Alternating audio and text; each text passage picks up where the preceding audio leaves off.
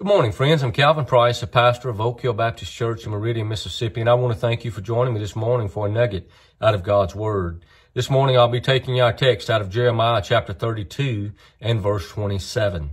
This morning I want to talk to you about limitations. We all have them. Some are physical, uh, some are in other ways, but we all have some sort of limitations. But I would say this, that our limitations can also become an excuse as to why we can't do things.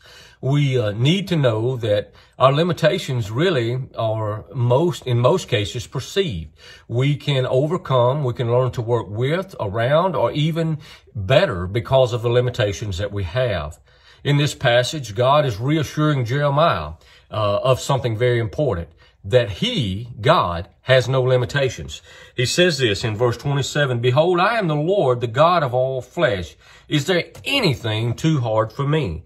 So God is having Jeremiah answer the question, is there anything too hard for me? Let's say it this way. Are there any limitations to what I can do, Jeremiah? And so Jeremiah would have to answer that question because he's asking a question. And the answer to that question is hypothetical. It, it assumes an answer, no. There's no limits to what God can do. Now, if we serve a God without limits, that means that we too are without limits. Sometimes we base it on the circumstances that's surrounding us and we say, well, I don't have this resource. I don't have that resource or we don't have the numbers or we don't this and we can go on and on and on. But that's just an excuse, not a limitation. Nearly 33 years ago, May the 21st of 1988, the Clarion Ledger in Jackson, Mississippi wrote an article. They wrote an article about a young lady named Kimberly. Kimberly was an 18-year-old high school senior. Uh, she had aspirations, desires to go on to college when she graduated high school, and uh, she wanted to become a biochemistry major. Kimberly wrote an, an essay, and she wrote it in eight hours. Uh, and that essay was an award-winning essay. It won a contest in the state of Tennessee.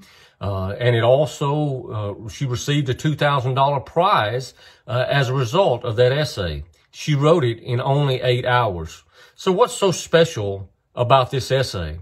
What's special about this essay is the special person that wrote it. You see, Kimberly couldn't walk or talk and had very limited use of her arms. She communicated through Morse code. Her father and a friend, they put together a computer system nearly 33 years ago to where Kimberly could communicate with them. She communicated by nodding and gesturing. And then it becomes even more unique because the title of the essay that Kimberly wrote was this. Please hear me. Doing one's best. As I think about this, I cut that article out of the paper, the Clarion Ledger, nearly 33 years ago, and I've kept it. I recently looked at that article and thought to myself, the only limitations I have are the ones that I place on myself. Jeremiah was feeling the limitations of the flesh. But then God comes to Jeremiah and he says, is there anything too hard for me? God told Jeremiah, there are no limitations. And Jeremiah had to answer that as it was a question. No, God, you have no limitations. And so that means that God can do anything through anybody at any time he desires to do it. There are no limitations. Don't place limitations on yourself today.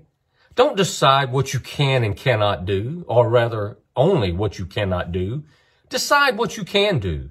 Learn to use your infirmities, your afflictions, your limited resources. Learn to use it to accomplish your goal. Please remember the title of this essay, Doing One's Best. I want to tell you today, friends, do your best to glorify the Lord. Do your best to rise above. Just simply do your best today. Please know this. The Lord Jesus loves you and I love you too. Please pray with me.